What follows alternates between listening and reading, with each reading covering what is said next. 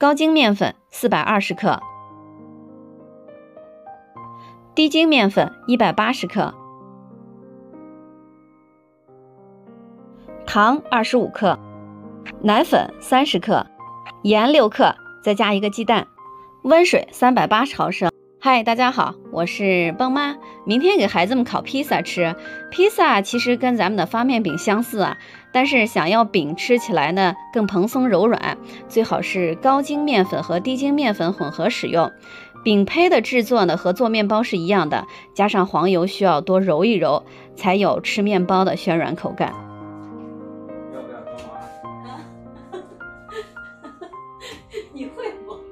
揉个面。来，你试试，你把手一洗。哎，妈妈，你能在那揉个面会？啊？来来来来来来来来来来，你来，搓这样搓。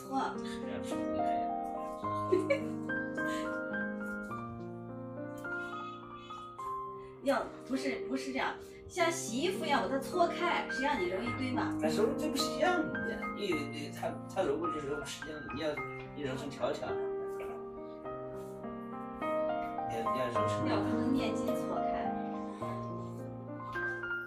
哎呀，我天哪！真是，弄得干净。要不是手人家做这个就是这样子，要软一点。哎，行行行行行行行，冰箱我自己来吧。哎呀，我看你做的多费劲呢。来来来，我自己来，我自己来，你去管吧。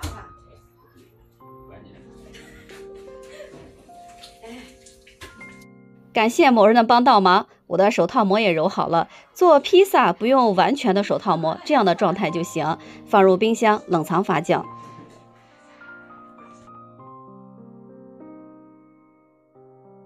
嗨，大家早安！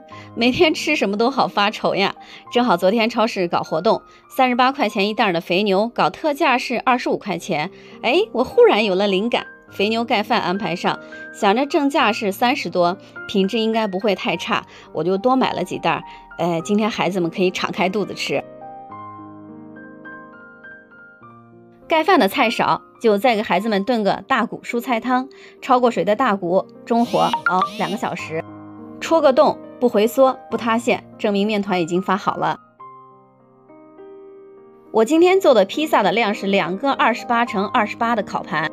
其实咱们吃的披萨呀，它虽然是属于外来品，但老祖宗还是咱们的发面饼。据说呀，元朝时马可波罗学习了咱们的馅儿饼，却没掌握好技巧，把馅儿包不住，情急之下只好把馅料放到上面烤，就成了意大利的传统美食。加上奶酪，竟成了老外的最爱。把整理好的面皮放到烤盘上，饼上扎洞，利于烤制过程中排气，饼还不变形。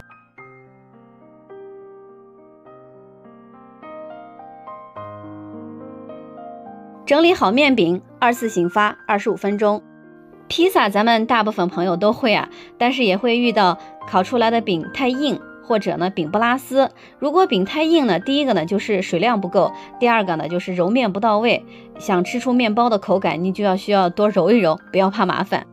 披萨不拉丝呀，这个问题也是困扰我的问题呀。我查了很多的资料，也向别人请教了，最后总结了有三点。我今天呢就实验一下，大家看能不能成功拉丝。香琪酱、蚝油、生抽一比一的量，再加少许的白糖。好多朋友吃不惯用黄油炒出来的披萨酱，建议您用以上的材料，适合咱们大众的口味儿。做法也比较简单省事儿，口感也好。再做一种蒜蓉酱料，大蒜末、小葱、盐、黄油，搅拌均匀，适合重口味儿呀。就不知道孩子们喜不喜欢吃。面皮上均匀的抹上酱料。拉丝的第一个条件就是要选用这种马苏里拉奶酪，奶酪咱们选的也是对的哈。一层芝士，然后一层蔬菜，把它们都码放上去。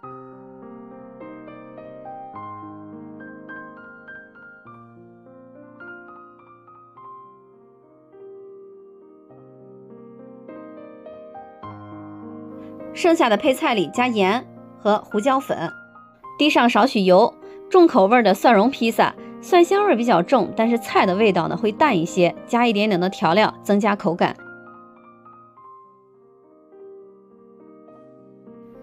最后再来点番茄酱，孩子们都喜欢。第二个拉丝的条件就是温度，一般烤箱都是上下火两百度，二十分钟左右。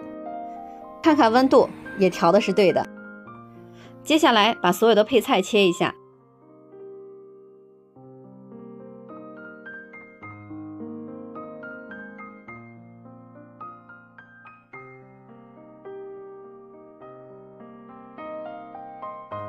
肥牛盖饭，我还准备了土豆、洋葱、香菇，还有西兰花、红萝卜，其他的是烧汤的配料。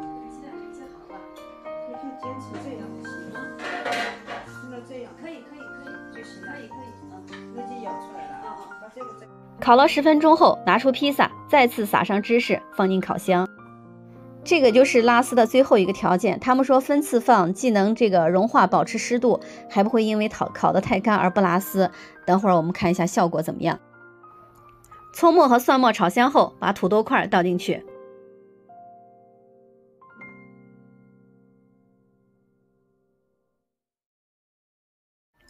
来点老抽和生抽。再加上少许的清水，土豆煮至半软烂，把香菇倒进去，多来点胡椒粉。土豆快熟的时候，把洋葱倒进去，再来点蚝油，最后把肥牛片倒进去，撒上盐，肥牛土豆盖饭就做好了。因为孩子们喜欢拌着汤汁吃，我就不要收的太干。披萨也出炉了，答案揭晓，到底能不能拉丝儿呢？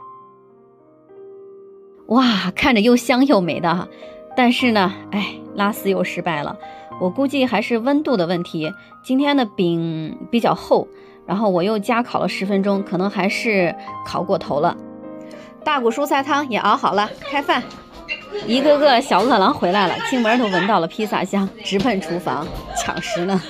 来这儿，这个来往这这，那我还放不放？滚蛋！你们说我还放不放？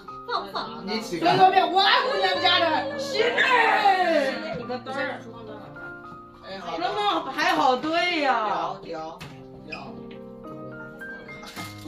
屌！我的模我的天呐，四孩儿！咋了？吃的怪物是不是有点膻？好着嘞，啊，完好着呢。你吃好着呢，你来，嗯，啥？你吃的啥牛肉？膻不膻？完全好着呢，他敢说吗？完全好着呢。对啊。哎，狼狼啊！蒜香，狼啊！羊味儿好吃啊。我这个是啥的？你看我饭呀这？蒜香味儿的但是，都不会你们尝了没？两个都好吃，啊，两个都好吃。两个都好吃。